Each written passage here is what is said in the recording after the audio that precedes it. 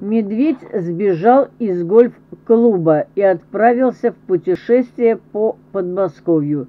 Косолапый навел шороху и уже засветился на записях с камер видеонаблюдения. Поисками занимаются спасатели, ветеринары и охотники. В подмосковных мытищах около пансионата Клязьминское водохранилище очевиды, очевидцы засекли блуждающего медведя, сбежавшего из гольф-клуба. Видеозапись с камер наблюдения была опубликована в соцсетях. Стало известно, что кадр попал медвежонок, подросток, который предположительно сбежал в соседние леса. В настоящий момент животное активно ищут спасатели, сотрудники ветслужб, охотники.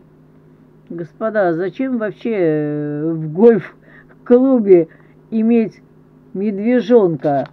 Что, решили его научить играть э, в эту игру? Ну, смехота, ну, смехота. Подписывайтесь на мой канал, пишите комментарии и будете в курсе событий, что происходит в нашей стране.